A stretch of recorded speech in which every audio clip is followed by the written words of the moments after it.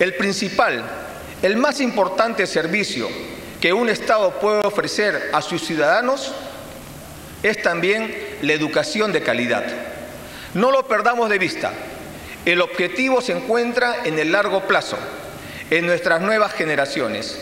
Nada tendría sentido si no enfrentamos la problemática de la educación y hacemos de ella una vía para la inclusión y una palanca hacia el desarrollo, la democratización de la sociedad y el bienestar.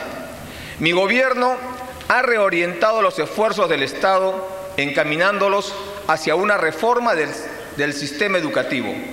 Esto se expresa en una serie de resultados, entre los cuales quiero resaltar la incorporación de 248 mil docentes bajo un régimen de formación continua y con mejores remuneraciones, buscando cerrar las brechas de atención a niñas y niñas de 3 a 5 años, se ha ampliado la cobertura de educación inicial a 2.000 comunidades que por primera vez tienen acceso a este servicio.